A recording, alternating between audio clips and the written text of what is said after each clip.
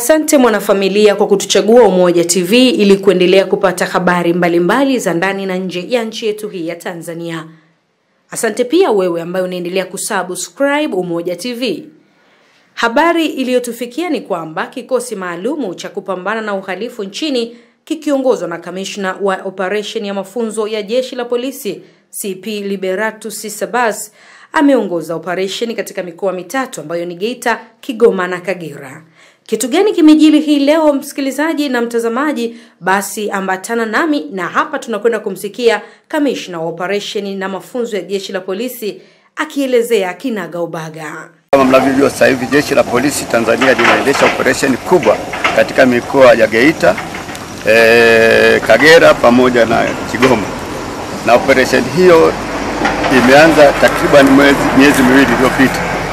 E, kutokana na operesheni hiyo, usiku wa kuamkia leo majira ya kati ya saa 11 na saa 12 askari polisi e, wa wilaya ya Biharamulo wakati wakiwa katika doria katika barabara kuu inayoelekea nchi jirani za Burundi pamoja na, na Rwanda katika eneo la Ngazi Saba waliona kundi la watu likitoka katika, e, katika kapori. Askari polisi kwa haraka waliweza kushuka na kuwataka watu hao wajisalimishe, lakini cha ajabu watu hao ghafla walianza kuwarushia askari polisi, lakini kwa sababu askari wetu wamefunzwa wakafunzika, waliweza kukabiliana na kundi hilo na hatimaye waliweza kuwapiga risasi watu wanne kati ya lile kundi, na baada ya, ya, ya kuja kukagua eneo la tukio waliweza kukuta pia bunduki moja aina AK47 lakini ikiwa na magazini iliyokuwa na risasi zipatazo saba. Lakini pia walipopekua miili ya watu wale waliweza kukuta kwamba walikuwa na, na, na tochi mbili.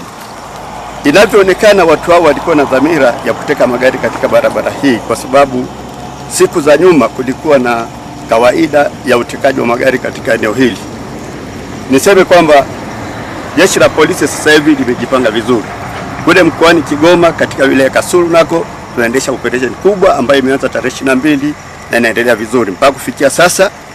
Kuna watuhumiwa wapatao 42 wameshatiwa mbaroni kwa makosa mbalimbali, lakini kati yao 24 kwa matukio ya unyang'anyi wa kutumia silaha. Wamekiri kuhusika katika matukio mbalimbali, lakini upelelezi zaidi unaendelea ili kuwatia mbaroni wenzao ambao bado wamekamatwa, lakini pamoja na vihusika wanavyotumia, yani bunduki na tuna uhakika muda si mrefu tutawatia wahalifu wengine mbaroni, lakini pia vihusika vitakamatwa.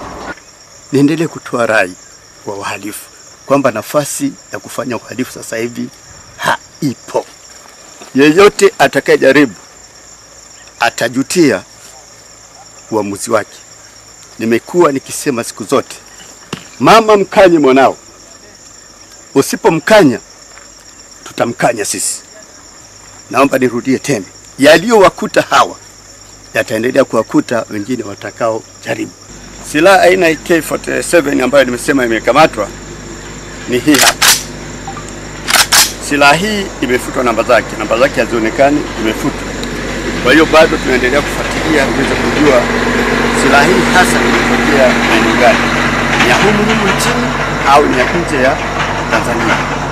Lakini niongeze kwamba watu hawa ambao wamepigwa risasi na bahati mbaya wakapoteza maisha wanakadiriwa kuwa na umri kati ya miaka ishirini na arobaini bado hawajatambuliwa. Kwa hiyo yeyote ambaye hatamwona ndugu yake afike katika hospitali ya wilaya Biharamulo ili aweze kufanya utambuzi. Nirudie tena, yeyote atakayejaribu atangamia. Hizi ni risasi saba ambazo zimekutwa kwenye magazini, magazini ambayo ni hii. Ni kushukuru sana mwanafamilia ambayo umetuchagua na kuendelea kupata habari mbalimbali mbali. Mimi ni Mary Mwakibete.